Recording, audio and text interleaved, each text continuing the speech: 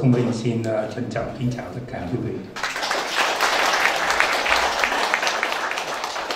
À, thưa quý vị là à, trước hết thì chúng tôi xin cảm ơn ban tổ chức và sự hiện diện của tất cả quý vị.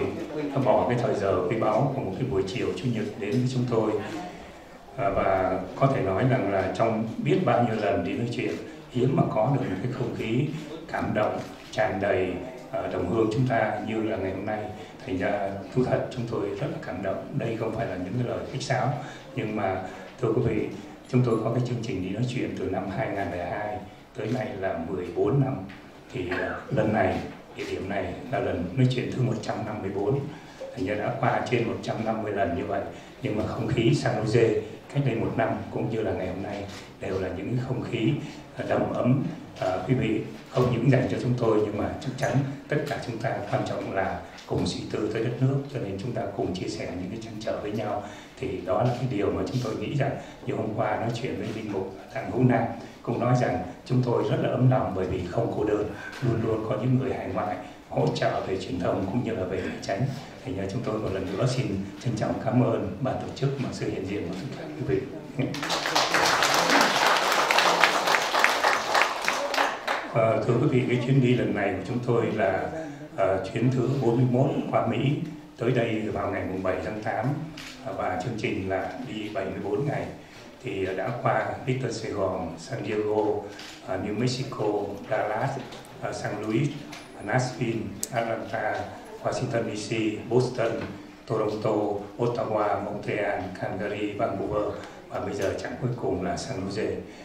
À, thì thưa quý vị, à, trước khi vào cái đề tài chính thì chúng tôi xin được à, nói chuyện một vài cái câu chuyện bên lề mà chúng tôi muốn nói tới cái tên đầu sỏ, cái kẻ mà đã gây ra cái tai họa lớn cho đất nước Việt Nam, đó là Hồ Chí Minh. Thì à, liên quan tới Hồ Chí Minh rất là nhiều cái huyền thoại, những cái sự tô vẽ của Đảng Cộng sản, cho nên chúng ta cần nhận diện chính xác Hồ Chí Minh như thế nào. Thì à, chúng tôi xin được à, chia sẻ chúng ta tuy chưa bắt đầu hội luận nhưng mà chúng ta cũng cứ việc trao đổi với nhau nhé. À, thì thưa với quý vị rằng là Hồ Chí Minh như là Đảng Cộng sản tuyên truyền thì theo quý vị nghĩ như thế nào? Ai là cái người quyết định thành lập Đảng Cộng sản Việt Nam? Và và ai là cái người đã đem chủ thuyết cộng sản vào Việt Nam ạ? dạ thực ra nó không hẳn là như vậy cái quyết định thành lập Đảng Cộng sản Việt Nam là quyết định của Đông Phương Bộ, một bộ phận của Liên tang quốc tế. Nó có vào khoảng tháng 10 năm 1929. Hồ Chí Minh không có cái khả năng gì để làm cái quyết định đó cả. Hồ Chí Minh là thành viên của Cộng sản quốc tế, cho nên Hồ Chí Minh chỉ là người nhận chỉ thị, là tay sai thi hành quyết định của Đông Phương Bộ và Liên tang quốc tế mà thôi.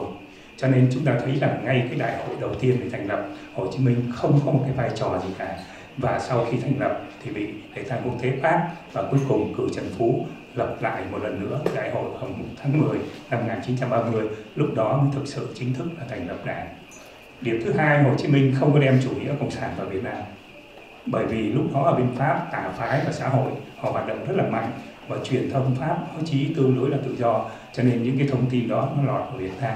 Cho nên giới trí thức của Việt Nam như là Tạ Thu Thâu, Phan Văn Hùng vân vân là những người lúc đó nghe những cái tin tức đó. Và vì vậy chúng ta nhớ rằng Hồ Chí Minh được chỉ thị của Đông Phương Bộ liên lạc với ba đảng cộng sản tại Việt Nam, kéo nhau ra Hồng Kông để mà thành lập. Đó, để mà thống nhất.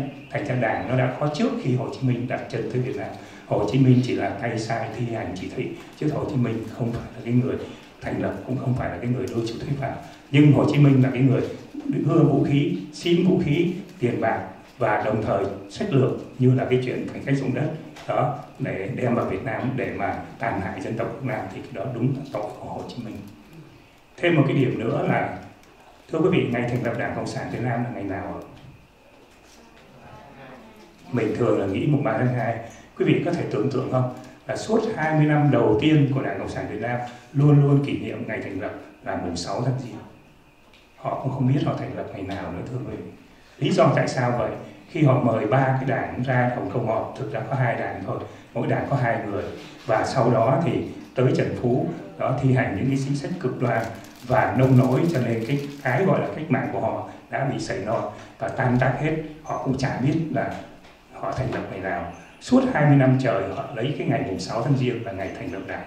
Cho tới khi bố đẻ của họ, tức là nước nga, mới dở hồ sơ ra nói, không, mày đâu phải sinh ngày đó, mày sinh ngày mùng 3 tháng 2 đương nhiên cái cuộc họp nó kéo dài nhưng mùng 3 tháng 2 là ngày khởi đầu. Tức là sau 20 năm không biết mình sinh ngày nào thì bây giờ thằng cha nó mới nói cho, cho biết là mày sinh mùng 3 tháng 2 mới bắt đầu sửa lại mùng 3 tháng 2 là... Dạ. có thể tưởng tượng một cái đảng nó như vậy. Cho nên Hồ Chí Minh sinh ngày nào chết ngày nào cũng sửa hết tất cả đều là cái sự giả dối ngay từ căn bản. Thế thì bây giờ ở đây chúng tôi cũng xin trình bày với quý vị một vài câu chuyện liên quan tới Hồ Chí Minh. Hồ Chí Minh nói cái câu nổi tiếng nhất là gì? Không có gì quý hơn độc lập tự do, phải không ạ? Theo quý vị nghĩ, quý vị đánh giá cái câu này như thế nào? Về cái văn văn văn ờ, văn phạm của nó, về cái ý nghĩa của nó. Thì thưa quý vị, nếu mà không có gì quý hơn, có nghĩa là có rất nhiều cái bằng. Quý vị có đời hiểu không? Hai cái người này không hơn, không ai hơn ai. Năm người này không ai hơn ai. Tức là bằng. Tất cả những người này đồng điểm với nhau, tức là bằng. Đấy, cho nên rằng là phải nói cái câu nếu mà thực sự tới mức đó thì phải nói là không có gì quý bằng độc lập tự do. Thành ra cái câu Hồ Chí Minh đấy nếu mà gọi là chấm điểm á, có lẽ chỉ có 5 trên 10 thôi. Một cái câu nói rất là dở chưa có tới mức. Nhưng mà cộng sản cứ thế họ bốc lên. Thì khi chúng tôi vừa rồi ghé sang Luis chúng tôi gặp bác sĩ tên là Nguyễn Chi Phương. Bác sĩ này ở lại làm việc ở bệnh viện Bình Dân. Bác sĩ mới kể là như thế này khi mà cộng sản nó vào tiếp thu thì Huỳnh Tân Mẫn là chỉ huy tụi tôi thì Huỳnh Tân Mẫn ra lệnh cho tụi tôi là đi mua vải và sơn về viết khẩu hiệu, vân vân. Thì chúng tôi khi viết tới cái khẩu hiệu này thì chúng tôi đã viết là không có gì quý bằng độc lập tự do, bởi vì nói như thế nó mới tới mức. Huỳnh Tân Mẫn đi ngang thấy hết hồn, bảo các anh muốn tôi và các anh cùng chết hay sao? Các anh phải sửa lại là không có gì quý hơn độc lập tự do, đi mua vải và sơn mới. Ờ, viết lại chứ viết như này đó là sửa lời bác hồ là không được. Tức là hồ chí minh ngu thì tất cả nghĩa là phải mua theo thì mới tồn tại thưa quý vị, về cái tuyên ngôn độc lập ngày 2 tháng 9 thì ai cũng biết mượn những lời của tuyên ngôn à, của mỹ và của pháp. Nhưng mà trong đó nó có những cái gì? Đầu tiên nhất đó là hỡi đồng bào cả nước. Cái câu quan trọng mở đầu là mọi người đều sinh ra có quyền bình đẳng, tạo hóa đã ban cho con người thế này thế này. Thì quý vị xin quý vị thử đánh giá cái câu này xem như thế nào mọi người sinh ra đều có quyền bình đẳng hay là mọi người đều sinh ra có quyền bình đẳng câu của Hồ Chí Minh nhé mọi người đều sinh ra có quyền bình đẳng quý vị đánh giá câu này thế nào? Thưa quý vị cái câu này là một cái câu nói phải nói là rất là dở. Câu trước thì chúng tôi cho 5 điểm đó là tạm tạm. Câu này chúng tôi cho zero điểm ạ. Yeah. là bởi vì mọi người đều sinh ra có quyền bình đẳng là một câu vô nghĩa. Cái chữ đều phải đánh sau ạ mọi người sinh ra đều có quyền đã là con người. Tất cả quý vị ở đây đều bình đẳng là con người chúng ta có quyền. Chứ không phải mọi người đều sinh ra. Đã là con người rồi, nói thêm cái chữ đều sinh ra làm cái gì nữa? Có nói nói chữ thừa, chứ đều phải để sau. Và để dẫn chứng cho cái điều này thì thưa quý vị là khi tổng thống Obama qua Việt Nam trong cái chuyến đi vừa rồi, trong cái bài nói chuyện ông có nhắc tới cái tuyên ngôn độc lập này, đúng không ạ? Và sau đó tòa đại sứ Mỹ ở tại Việt Nam đã dịch và cái vị vào trong nhà tòa đại sứ Mỹ xem cái bản dịch họ viết như thế nào họ viết nhắc lại là mọi người sinh ra đều có quyền bình đẳng thì mới là cái câu đúng. Chứ còn để cái chữ đều phía trước là sai. Bởi vì đây là cái trích tuyên ngôn độc lập của Mỹ. Đó. Thế nhưng mà tại sao không sửa được ạ? Tại sao cộng sản không sửa được? Vì đây là cái lời phát ngôn trước hàng trăm ngàn người và sau đó nghĩa là in đi lại phát thanh nghĩa là cả triệu người có thể nói mấy chục triệu người Việt Nam đã, đã vào đầu rồi. Bây giờ làm sao sửa được? Nếu nó là một văn bản thì họ đảo tới đảo lui nói là tại đấy mấy nhầm được. Nhưng đây là cái lời phát ngôn chính Hồ Chí Minh phát ngôn ra không sửa được. Đó, thế mà bây giờ tất cả thì cứ dùng như thế. Và thưa quý vị bên trong cái bản tuyên ngôn đó còn nhiều điểm sai nữa. Thí dụ như là nói tới cách mạng pháp là một bảy tám chín ai cũng biết cùng năm với lại vô quang trung đánh nhà đông đà nhưng mà trong đó lại viết là một bảy chín mốt, sai mất hai năm. Dạ. Và đồng thời ở trong nó có những cái câu là con người sinh ra tự do bình đẳng. Thưa quý vị, con người không có sinh ra bình đẳng. Đã câu trên là tạo hóa đã ban cho con người mà. Thành ra con người sinh ra có quyền tự do bình đẳng, chứ không quyền thiếu. Dạ. Rồi ở bên dưới có những cái đoạn, thí dụ như là chính phủ lâm thời thì thưa quý vị, chính phủ lâm thời danh từ trung chính thử đứng trước, thì đó là văn phạm Việt Nam, mặc dầu là từ Hán Việt, nhưng cái đoạn dưới lại lâm thời chính phủ, đó là văn phạm hóa trong một cái bản văn không có nhất quán. Nhưng cái điều quan trọng nhất là trong đó là nội dung nó có cái gì? Chúng tôi đoạn tuyệt hẳn quan hệ với pháp. Quý vị thấy trong cái đó, chúng tôi đoạn tuyệt hẳn quan hệ với pháp. Thế mà 6 tháng sau thôi, ngày mùng 6 tháng 3 đó, ký hiệp ước sơ bộ cho pháp trở lại quý vị có thấy không? Nói trước quốc dân chúng tôi đoạt tiền xong rồi cuối cùng lại ký cho pháp trở lại để mong làm chi được pháp công nhận và đứng trong người pháp. Rồi cuối cùng á kéo pháp vào xong đánh pháp để kể công. Đi dự cái hội Geneva chia đôi đất nước xong rồi đó là cưỡng chiếm miền Nam rồi lại kể công thống nhất đất nước. Theo như Nguyễn Phú Trọng tức là tổng cộng uh, cán bộ cộng sản chết trong những cái cuộc chiến vừa qua là 160 ngàn nhưng dân chết thì tới ba bốn triệu.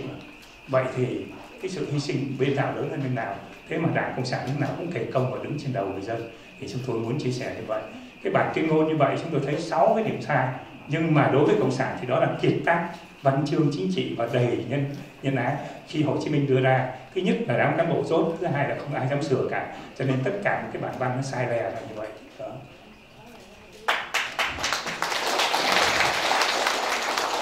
thưa quý vị, tôi muốn nói tới, đó là cái chuyện ngày xưa chuyện ngày hôm nay là nói tới Nguyễn Phú Trọng. Thưa quý vị, cái tiêu chuẩn để trở thành bí thư của Đảng Cộng sản Việt Nam là cái gì? Quý vị có để ý không? Chúng tôi nghĩ rằng là chính Nguyễn Phú Trọng đã cho chúng ta cái tiêu chuẩn đó. Thứ nhất là lớn tuổi. Thứ hai là già, yếu, sức khỏe có hạn. Thứ ba là trình độ có hạn. Thấy không? Thứ tư là đã xin nghỉ rồi, nhưng mà không được nghỉ. Thứ năm là lũ. Đã muốn trở thành tổng bí thư là phải có năm cái điểm như thế thì mới trở thành tổng bí thư. Quý vị có thể tưởng tượng rằng là một cái người với năm cái điểm tiêu cực như thế mà lên làm tổng bí thư thì nó còn ra cái gì nữa? Thành ra bên cạnh đó chúng ta đừng có ngạc nhiên là Nguyễn Xuân Phúc là ma dê in Việt Nam. Quý vị thấy không? Chúng tôi trên đời có cả quý vị, tôi nghĩ chưa bao giờ chúng ta nghe một cái từ như vậy. Thế mà trong lý lịch thì khai là anh văn là cấp B.